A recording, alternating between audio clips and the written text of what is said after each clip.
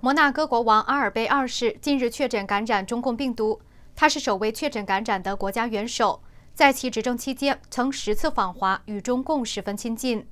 二零一九年三月二十四号，摩纳哥国王阿尔贝二世接待来访的习近平，表示两国拥有多年友好关系及经贸往来，在多方面达成共识。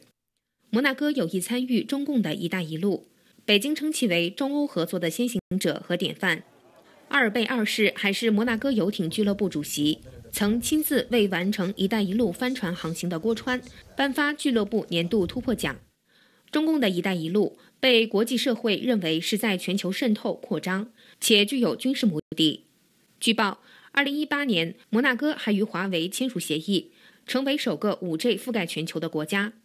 华为被接有中共军方背景，其设备装有后门，可窃取客户数据。为中共政府收集情报，威胁国家安全。information of your citizens or the national security information of your citizens to transit a network that the Chinese Communist Party has the legal mandate to obtain creates risk.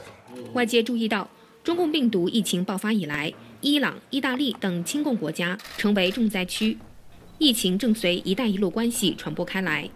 大纪元文章《病毒针对共产党而来》指出。脱离和拒绝中共，才能远离瘟疫。